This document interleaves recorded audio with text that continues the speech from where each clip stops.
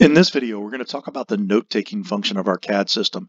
If you're not sure how to get here, please go back and watch the first one in this dispatch series on how to access the CAD system. So down here, you'll notice our timeline. And one of the first things we need to do is select our name out of the list. So in that case, I'm going to pick the dispatcher that was on duty for this class. And now I can type anything that I want in this box. I hit enter and it puts a note down here. It also tags it with a little tag that says dispatcher and it has the last few characters of my last name so that we can track it. So that's the simplicity of typing notes is anything you want, hit enter, and in it goes. You'll notice down here we have some of these kind of orange looking call takes. So imagine that you're a dispatcher working in a large metro system where there's separate 911 desks from radio desks. Somewhere in another room, there are other operators that are taking the 911 calls and putting those notes into the CAD system. And you're strictly working the incident and working the radio desks, and those notes from those 911 calls are coming into your CAD, and they come in here as call take. And so this is your 911 information that's going to come in over time as you're doing the incident.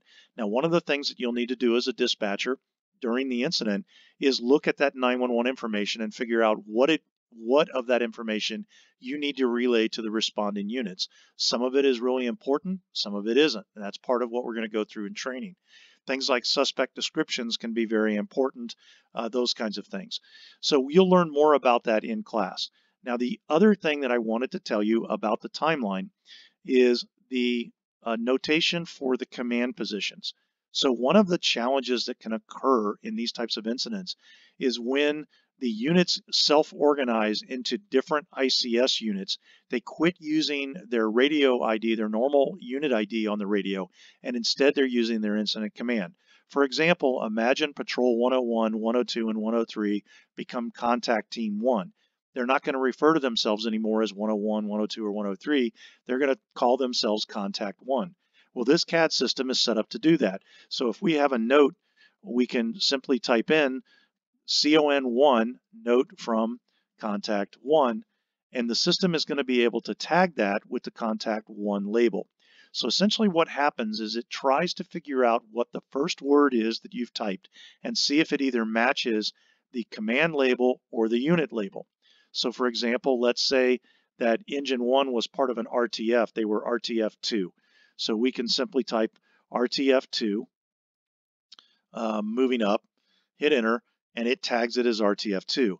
This little view command legend button right here will show you what those shortcuts are, but I'll save you the surprise. It's the first three letters of the command position. So for command, it's COM, staging STA, uh, operations, OPS, law enforcement branch, uh, law, also LEB. Contact teams are CON plus the number or CT plus the number. Rescue task forces can be RTF plus the number or RES, on and on and on. And so that can really help you because when the units go to staging and they come out of staging as these organized teams, you don't know which unit it is. And so this will let, let you kind of keep track of what's going on.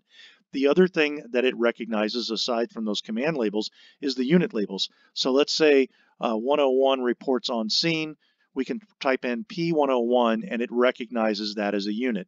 Uh, for the engines, for example, engine 01, you do have to do engine 01 as opposed to engine 1 uh, on scene. And it recognizes engine 1. Same thing with the ambulance, A01, um, and on and on. And that's all there is to the note-taking function. It keeps the most recent notes up here at top and then it scrolls down to the bottom so you can scroll down if you need to to kind of look at those things. The other thing you can do is filter it. Like let's say you miss some call take information or you want to look at it and get rid of all this other noise. You can click the call take tab and it'll filter out everything except the call take information. Same thing with the unit tabs and with the command tabs. It filters out for the different tabs that it's labeled. And that just gives you a quick way to filter. The only other thing I haven't mentioned is the hospital counts here.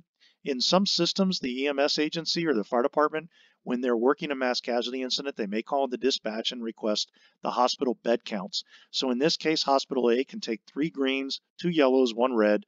Hospital B, three greens, two yellow, three red, on and on. These numbers are different for each scenario, but once the scenario starts, those numbers do not change.